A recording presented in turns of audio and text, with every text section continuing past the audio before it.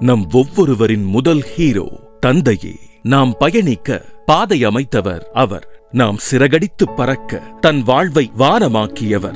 ஆயிரம் இன்னல்கள் இருந்தாலும் பிஞ்சுமுகம் கண்டவுடன் பூமுகம் பூப்பவர். நடு இரவில் தூங்கும் பிள்ளையின் தலைவாரி நலம் கேட்பவர். கோவில் திருவிழாக்களின் போது தான் பெற்ற பிள்ளையை தனது தோள் மீது சுமந்து உலகுக்கு உயர்த்திக் காட்டியவர். பேச்சாகட்டும் நடையாகட்டும் நீச்சலாகட்டும் சைக்கிள் ஓட்டுவதாகட்டும். அனைத்திலும் முதல் ஆசான் அவரே.